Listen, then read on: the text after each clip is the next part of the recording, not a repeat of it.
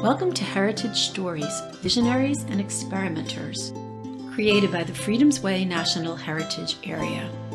Each story introduces an inspiring individual whose actions, discoveries, and inventions have shaped social, intellectual, and cultural innovation in Freedom's Way and America, changing the way in which Americans viewed the world.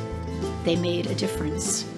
I'm your narrator, Patrice Tedisco, and today's story is Lydia Maria Child, author, abolitionist, and first woman in the Republic.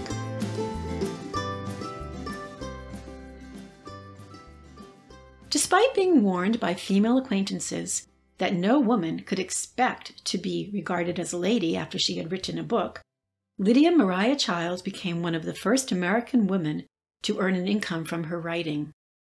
A prolific and talented author, she championed the rights of women, Native Americans, and African Americans. Her words shaped American history. Born in 1802 in Medford, Massachusetts, Child was the youngest of five children. Her father, David Converse Francis, was a baker, noted for his famous Medford crackers, while her mother, Susanna, remained at home.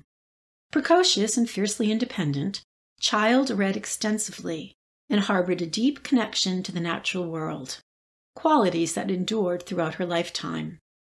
At 21, she decided to be called by her middle name, Maria. By 22, Child was a literary sensation. Seven miles northwest of Boston, Medford's proximity to the Mystic River afforded opportunities for trade, including shipbuilding, brick manufacturing, and rum distillation. At the time Child was born, just over 25 years after the American Revolution, it was still a quiet country town with just over 1,000 inhabitants steeped in history and rich in historical lore. While Child's beloved older brother, Converse, attended Harvard University and seminary, Child was educated locally at a dame school for girls and then at a women's seminary. Converse, who became a Unitarian minister and professor at Harvard Divinity School, played an important role in Child's intellectual development, challenging her to read and question literary masterpieces, encouraging her to write, and introducing her to the great transcendentalist thinkers of the day. She herself converted to Unitarianism. At the age of 12, following her mother's death, Child was sent to live with her older sister and brother in law, a lawyer, in Norridgewock, Maine. A shire town of 400 families and the country seat for communities within a 150 mile radius, it was in close proximity to the village of Old Point, once territory of the Norridgewock Indians, a band of the Abenaki Nation. Child's experiences here would inform her first book, Hobomok, A Tale of Early Times, the story of an interracial marriage between a white woman and an indigenous man. Looking at American history from a distinctly feminine point of view, Hobomok is set in the early settlements of Salem and Plymouth, Massachusetts. Using colonial historical material as background, it has the distinction of being considered the first New England historical novel. Not surprisingly, the book's controversial content garnered mixed reviews. However, this did not deter Child's literary output. In just 10 years, she would go on to publish 11 books while founding and editing the country's first children's magazine, the Juvenile Miscellany.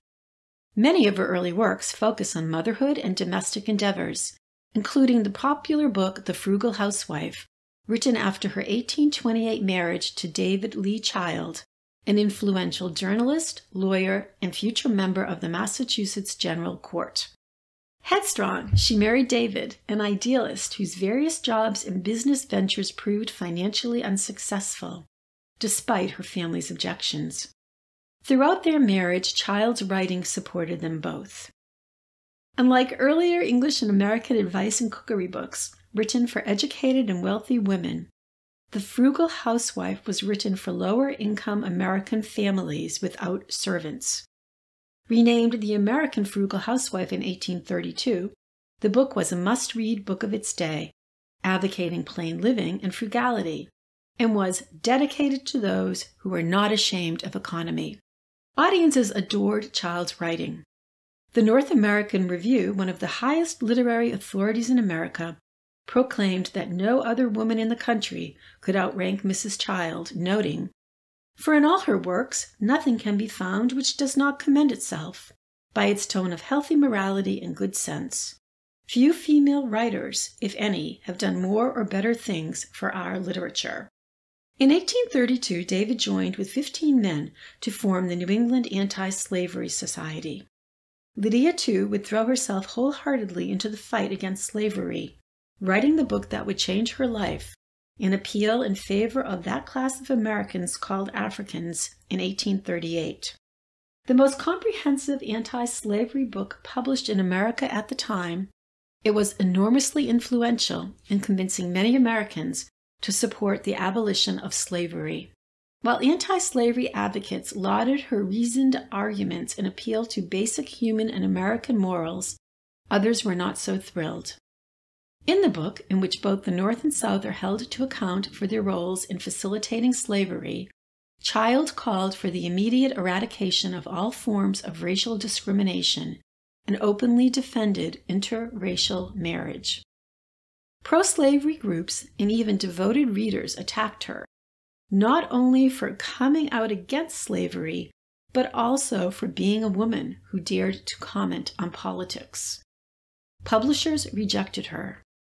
The Boston Athenaeum, where she was one of the only women given a private study, revoked her privileges.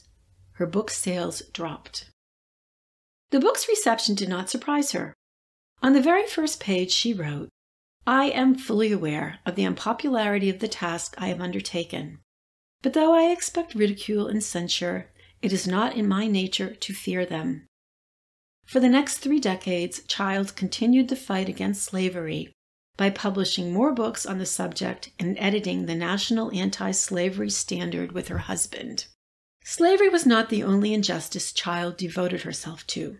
Following the Civil War, she attended the founding meeting of the Massachusetts Suffrage Association and authored The History of the Condition of Women, a publication examining women's treatment and station throughout world history that influenced the next generation of suffragists. Elizabeth Cady Stanton, leader of the National Woman Suffrage Association, called it a great resource for the fight for equality. A household name in America for more than half a century, Child's influence was profound.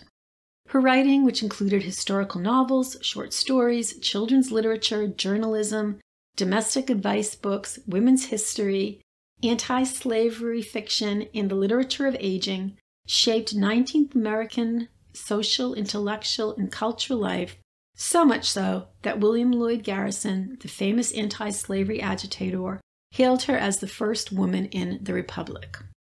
Lydia Maria Child passed away on October 20, 1880, at her home in Wayland, Massachusetts.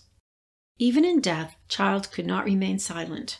Her compatriots John Greenleaf Whittier and Wendell Phillips compiled her letters into a book and published it in 1882 in her memory. As we commemorate the 100th anniversary of the 19th Amendment, we pay tribute to Child's complex legacy of activism and authorship.